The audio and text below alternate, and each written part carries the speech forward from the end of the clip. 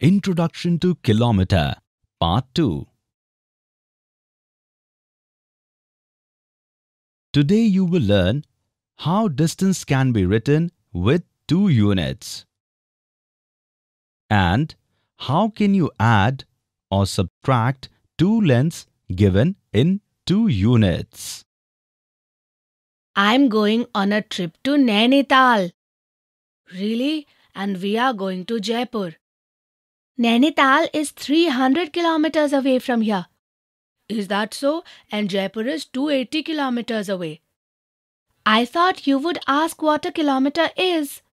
No, I know that. Kilometer is a unit of length measurement. Yesterday my papa told me. Papa told me yesterday too. If Nainital is 300 kilometers and Jaipur is 280 kilometers away, then the distance between Jaipur and Nainital is only 20 kilometers. That means we can also visit Jaipur while going to Nainital.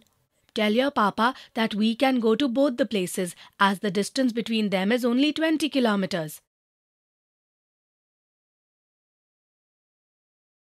Papa, this time we should go to visit Jaipur along with Nainital. No, the distance between the two is a lot. Let's go to Nainital and we will go to Jaipur some other time. No, Papa, the distance between Nainital and Jaipur is not much, only 20 kilometers. No, Ayushman, there is a distance of 580 kilometers between the two. No, Rehansh and I have calculated. Nainital is 300 kilometers and Jaipur is 280 kilometers away. If we subtract both, then only 20 kilometers will be left. Yes, but when both are added, then it's 580 kilometers. Yes, but why add? Look, we are here. And if we go 300 kilometers towards right, we will come to Nainital. And if you go 280 kilometers left from here, we will come to Jaipur.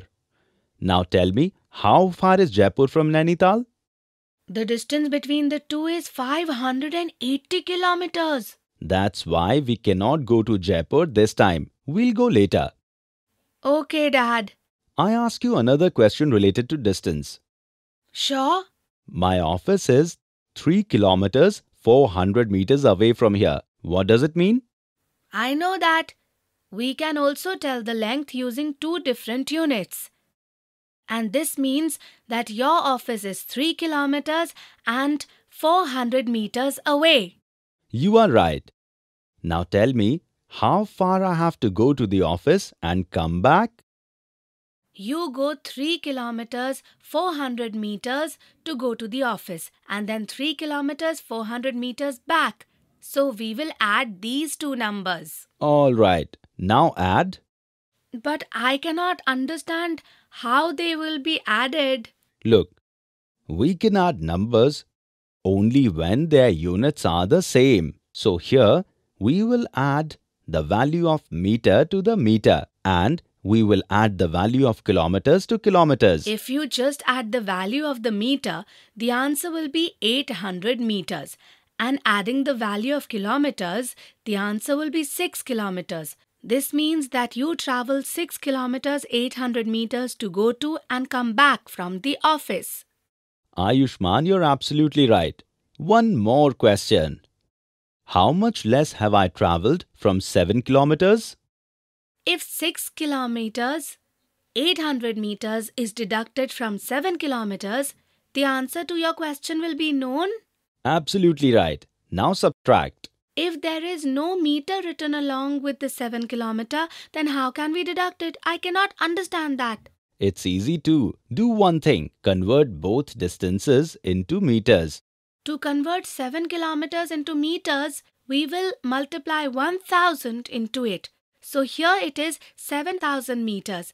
Just like that, multiplying by 1000 in 6 kilometers, the answer will come 6000 meters. And adding 800 meters to it, the answer will be 6800 meters. Absolutely right. Now they can be subtracted because the units of both are the same. The answer after subtracting them is 200 meters. That is, you have to cover a distance of 200 meters more to walk 7 kilometers a day.